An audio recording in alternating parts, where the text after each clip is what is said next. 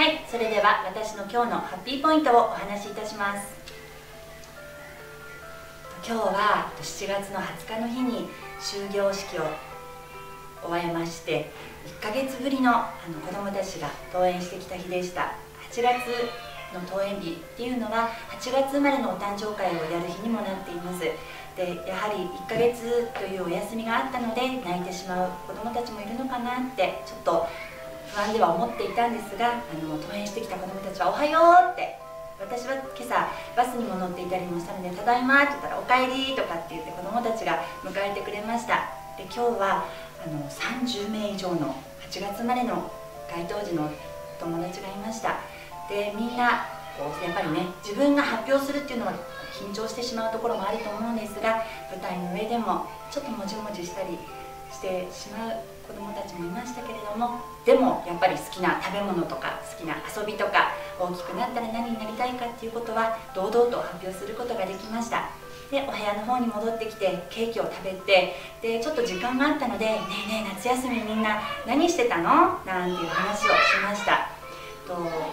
水族館に行ってきたっていう子どもたちがいたりとかあとちょっと遊びに行ったとかイオンに行ったってやっぱイオンでも子どもたちはお出かけをしたっていうのがすごくあるみたいででもねもうみんなあとね何回寝たら幼稚園また始まるんだよ9月になったら後ろ見てよああいうのも先生たち作っといたからそんな運動会ちょっとね大変かもしれないけどでも先生たちと一緒に頑張っていこうねっていうお話をしながら子どもたちとさよならをしました。短い時間ではあったんですが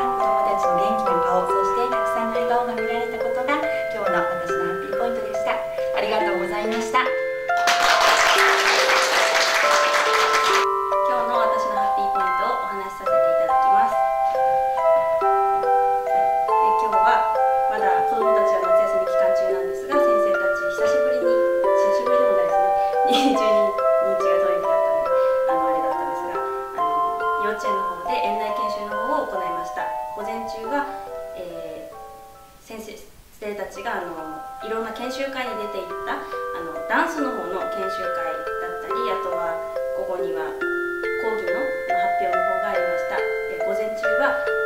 ダンスの研修会の発表なんですがいつも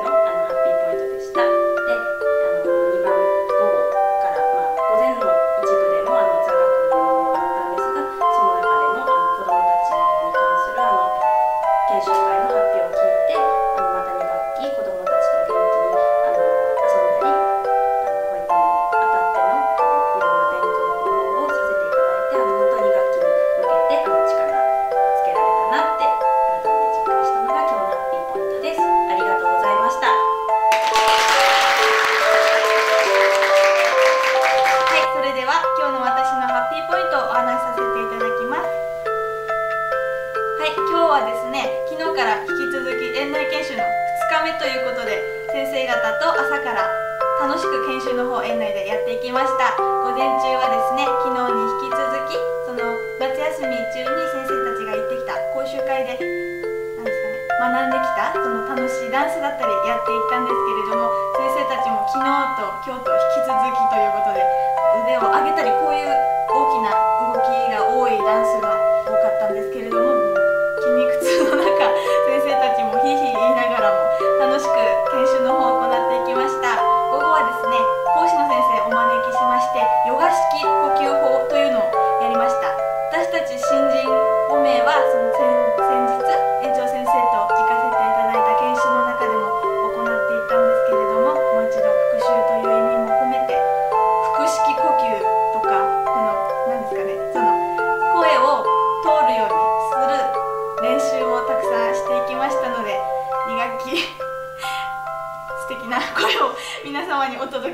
いいなと思います。はい、これが私の今日のハッピーポイントです。ありがとうございました。は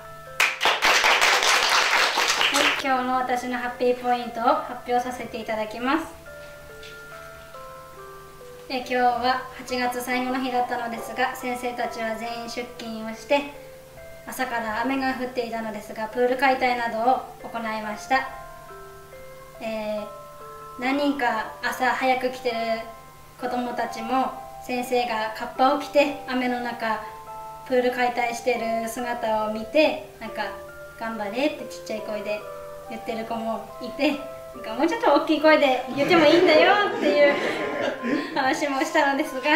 子どもたちに応援してもらってなんとか先生たちも無事にプール解体することができました、えー、ちょっぴり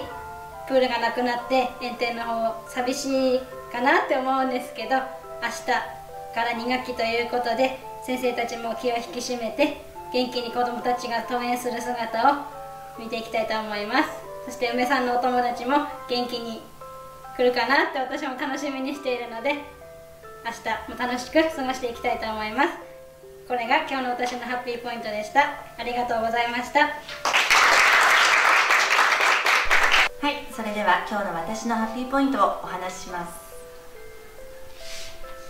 今日から2学期が始まりました。子どもたちもとっても元気に来てくれてあのすごく嬉しかったっていうのがまず第一のハッピーポイントです。もうこれに変わもう変えられるものはありません。でやはりね休み明けということで少し涙が出てしまった子もいましたけれども帰る時には4日からはね運動会の練習頑張るんだからもう早寝早起き朝ごはんしっかり頑張ろうね。っていうふうにあの子どもたちと話をしてあの返すことができました。そして午後からはあの先生たちで児童公園の方に行って苗引きをしてきました。苗引きっていうのはあのちょっと園庭では狭いので実際にこう距離が取れる児童公園の方を幼稚園ではお借りして練習の方を進めているんですがその前の準備としてまずほうきで葉っぱとか木の枝とかあの取り除いてそこから苗引きが始まるんですね。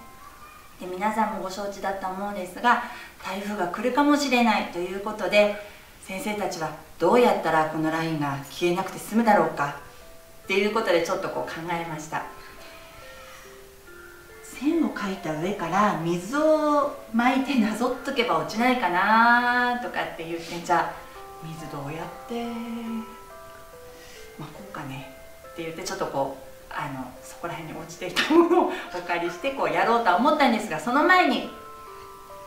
棒を持っていたのでそのラインを1回引いたところからさらにまたこう棒でこう押して引いて溝を作ってその上からラインでこうラインかでギュッギュギュギュギュギュギュやって粉をポタポタポタポタ垂らしてその上から水をまいてよしこれで大丈夫